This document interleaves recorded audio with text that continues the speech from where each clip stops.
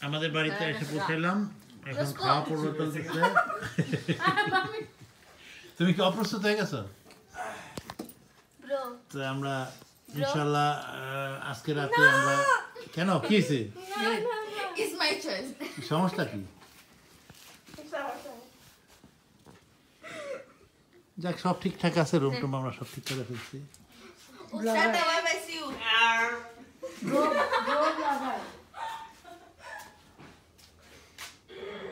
এই ছোট রুমটা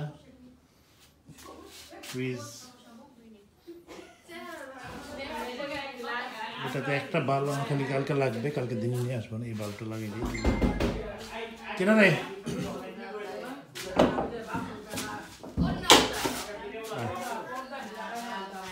সব ঠিক আছে এই এই ইয়েস ঈশা আইছে